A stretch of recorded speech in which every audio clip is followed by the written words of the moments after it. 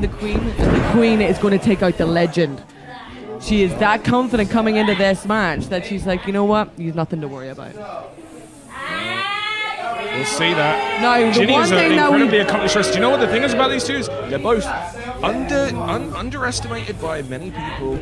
Um, uh, technical wrestlers. Ah. And, Jinny, especially, so I mean, everyone knows that she's trained with Jimmy Havoc, but she's also trained extensively with Chris Brooks, Zack Sabre Jr., Also, actually, Pete Dunne as well, Dan. Pete Dunne as well. Uh, you know, there's that NXT UK link there between them also. I was also actually going to say as well there, they were both in the 2018 Mae Young Classic as well. Yeah. So they've like went through everything. So they, they've been eyeing up each other for a few years. But this is the time that they're in the ring together.